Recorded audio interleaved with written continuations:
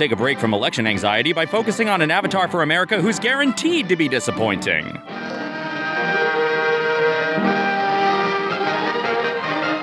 And here we see what a per cell looks like under a microscope.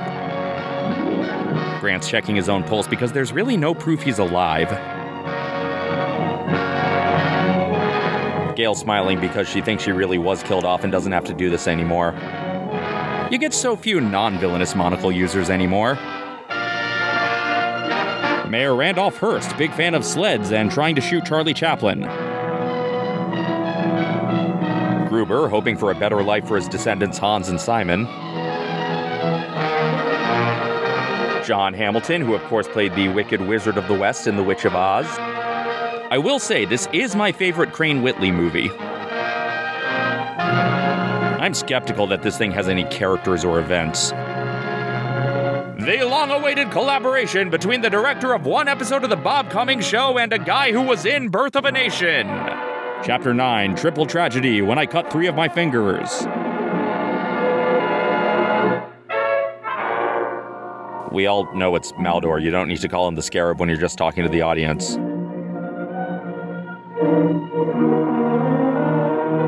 Ah, two previously on blurbs. This one has Gail's driver's license photo. I'm Gail Richards and I approve this message. Hey there, Gaily girl, flying in a plane so fancy free. Hello, DoorDash order for Matson?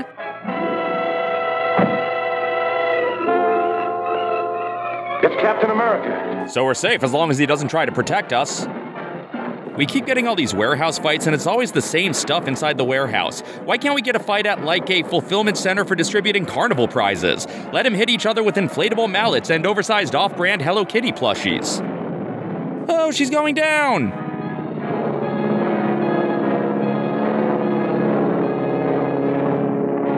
Never mind, she's staying level. I had to try that at physical therapy after my car accident. And slide into first on your back. Oh, but he's still in third. Fight choreography by Cirque de Blase. Still contributing to the great chair shortage of 44. No, he shot a gauge share phone car. Oh, just blow me up already. This gauge's measurement is inversely proportional to our interest. That wasn't even one of the henchmen. Cap just punched the script supervisor. Cap, why did the DA wait for you to show up instead of rescuing me himself? They had five minutes to film this rear projection rig, and they're putting it all on camera. There's a time bomb on the plane that just took off. What's the radio wavelength of that plane? 1575. Your single employee, who's the only woman in the city, is about to be blown up, but you take your time untying him.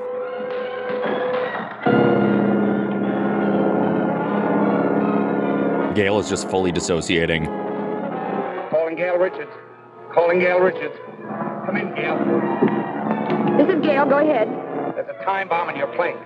Bail out. Bail out. Okay, Grant. Grant? Who's Grant? I'm wearing the mask. No, it's Coleman Francis's skydivers. I'll give them credit. It's new for them to cut this much out of the cliffhanger. Their cheating really has reached new impressive lengths. Meanwhile, at Epcot's Italy Pavilion, Scarab must have feared the blowgun would is that Davis? I forgot Grant had a second employee, consultant. I never learned who Davis was. There wasn't even a fragment of it left in the wreckage. I don't think those two prisoners will help us much. They're just two small-time thugs hired by Matson for that particular job. He hired them on Thugs I List. wonder if the Scarab ever heard that the police make plaster of Paris copies of all important pieces of evidence. That's what you We wonder? didn't have time to make a replica of that blowgun. Someone was too busy showing it to Maldor. Scarab doesn't. We can let the news leak out through the underworld that we have an exact duplicate from which Grayson can identify the owner of the original. Grant's really sticking with the lie about being better prepared strategy, huh? What's wrong with boot blacking? I like it very much. After my shoes shine my Zorro mustache. You could just yell and he'd probably hear you. Go ahead, Mark. Number 31 reports the DA has a plaster model of the blowgun. He's wired Grayson to come here to identify the owner. That's all. A model? Why did they make a model of it? Eh, everyone needs a hobby. Procedure, I suppose.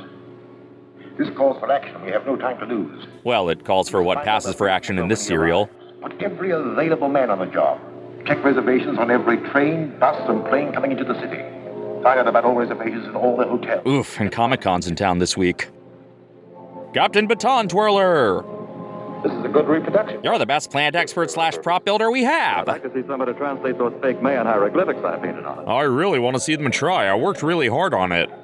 District Attorney's office. Yes, Commissioner. He's right here. Oh, now the commissioner thinks we'll just welcome him back after he disappeared for four episodes. They fell for it, Grant. A man just asked about Grayson at the Hotel Metropole. Also, I shot my phone scenes from episode one five seconds ago. This afternoon. Fine. That's just what I hope to hear. Have you got a man at the Metropole? Yes. Donovan is taking the doorman's place. Because Superman and Green Lantern ain't got nothing on him. Anyone else around? I want them to be able to get away with the blowgun so we can follow them to the scarab. We better give them a little time to get organized. Then we'll deliver this right into their hands. The world's largest stogie. Ooh, a new boring looking building. The Metropolis Hotel. We're finally getting Superman back. Da da da da da da. I can dream, right? Why is there an animation reference model for Bambi on the desk? Now to pull out my laptop and check some email. The tube explode? You press the doorbell, and on the second chime, the wire will burn too, causing the tube to drop and break. Oi, I'm from somewhere else. Knock out anyone in the room in a few seconds. A new building means new parking shots. This is Donovan, the doorman. Matson and two others went in a few minutes ago. One of them stayed in the lobby, a lookout, I guess, and the others went up to the room. What about their car? Parked around the corner. Around the corner, that's where the shop is. Drive around and watch their car. If they should leave before I can get back, trail them. Sucker, I'm taking off for Gotham City. At least the serial set there actually has comic book characters.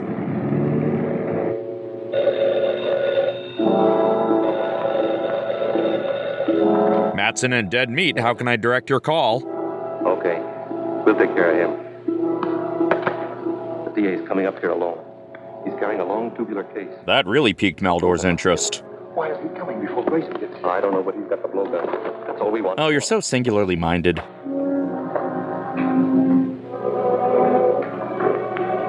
Wait, is the hotel hallway just the same set as the hallway in Grant's building? I guess this town has exactly one architect and one interior designer. So, Grant, how many cases have you tried this week? None? Not looking good for getting reelected. So he knows they're laying a trap for him and he just goes himself without any precaution. Smart, Grant.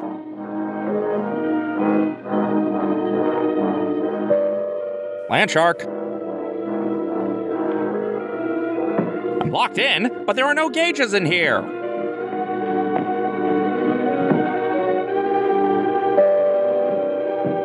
A classic doorbell triggering a vial of gas plan, that old cliche. Haunt season is over, but the fog still lingers. Oh no, Phantom Menace is starting! Boy, this serial hates chairs. Looks like Cheech and Chong's dressing room.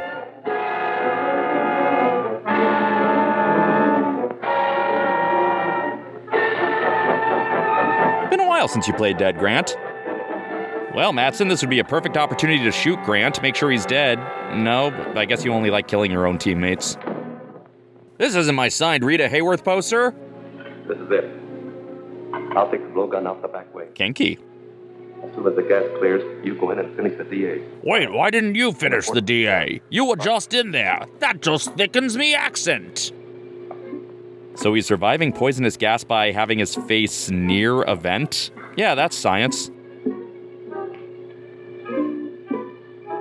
Never bring a knife to a shoe fight.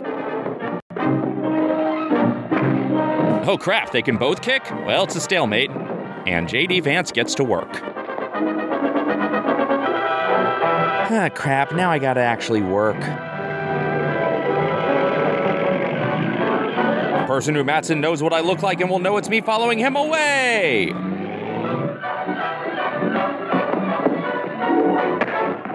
Since Matson's the one who opened that window, this counts both as Grant killing someone instead of bringing them in for questioning and Matson killing his own teammate.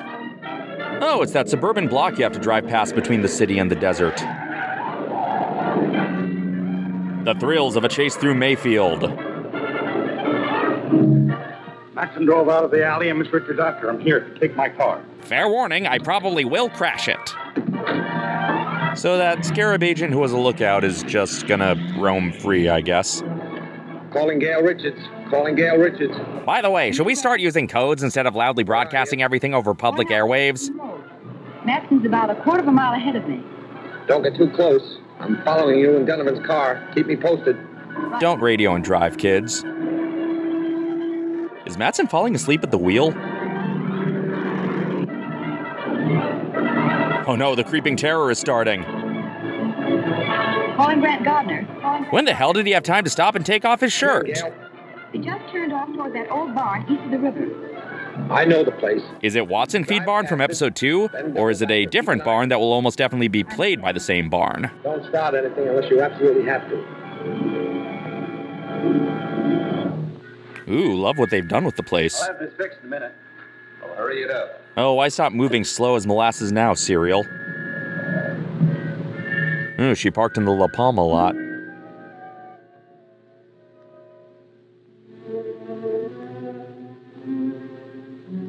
Purse, strut. Purse, strut. Calling H1. Ugh, now over here, I gotta consolidate my radios. Come in, M3. Did you get the blowgun? Yes, everything's okay. I'm not so sure. Norton hasn't reported in yet. A problem with his antivirus? He antivirus? hasn't. I better go back to the hotel and find out what happened. Hello, here to read the meter? I'm going back to look for him. You're staying right here, Matson. So Gail has the exact same powers as Cap a gun. You'll pay for evicting Mr. Ed from this place. Tie him up. Eh, that's what Lionel makes them do weekly anyway. Oh no, the Rancor! I actually didn't care about stopping her, I just love levers. That was quick and easy. What the screenwriter said after crapping this out. He worked with Captain America, he's probably on his way here now. To do the same thing, but even worse. Too much stuff belonging to the museum stored here. We can't take a chance of letting anyone find it.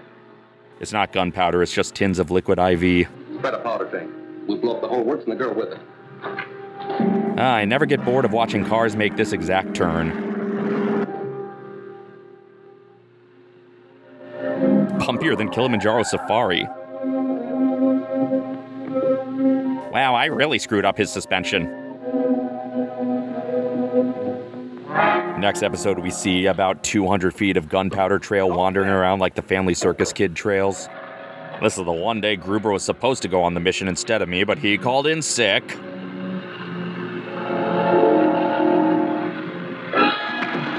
Good thing hay's not flammable.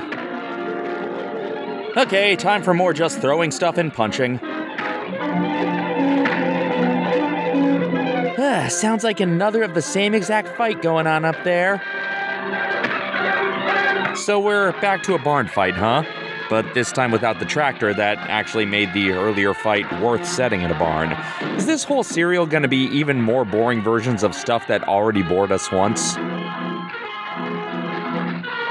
Pickaxe somersaulting, real popular among acrobatic prospectors. So, where's all that stuff belonging to the museum that Cap would definitely recognize? Chair broken, take a shot. You know, if I kill another three of your minions, I get a free sandwich. Is he fighting with the fake blowgun now?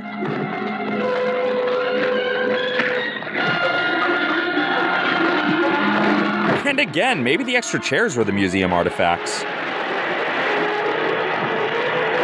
Matson started the fire, and to think they blamed the cow.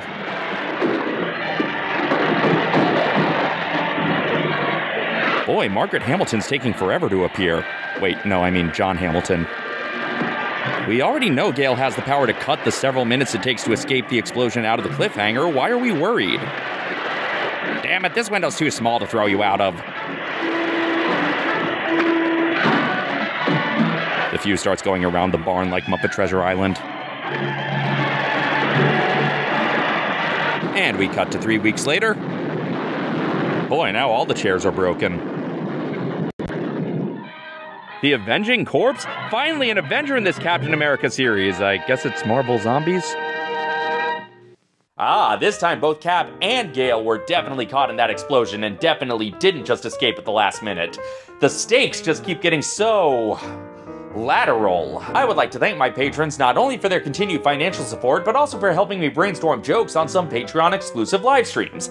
These fine folks pointed things out that were worth making fun of, but then I lost their observations in explosion and had to rely on plaster of Paris replicas of their observations. If you would like to join the next Patreon live stream, even a $1 pledge gets you access. And at $2, you can see this month's other riff, a throwback to early settlers of New England, just in time for Thanksgiving. Also, if you live in the US and you haven't already, please vote. And please not for the senile lunatic convicted felon rapist with zero redeeming qualities who already screwed up the country so much once that we're still cleaning up his mess and whose every campaign promises to be even worse to marginalized people than he already was. And just as importantly, please be sure to vote locally. I think if there's one thing this serial teaches us, it's the importance of local office in a roundabout way. So find the candidates who will work to serve the people of your community and who will not waste taxpayer dollars on running around in pajamas in pursuit of a single rich weirdo who's only a threat to other rich weirdos. Now, if you'll excuse me, I'm off to go undercover as a doorman just to find out who took my lunch out of the fridge. So until next time, this is Dave, signing off.